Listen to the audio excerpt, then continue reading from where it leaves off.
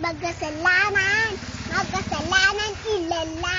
Lord, patawad!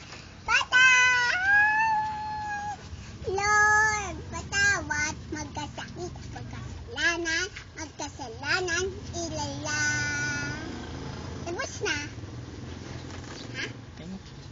Thank you. Bow. Tapos na po.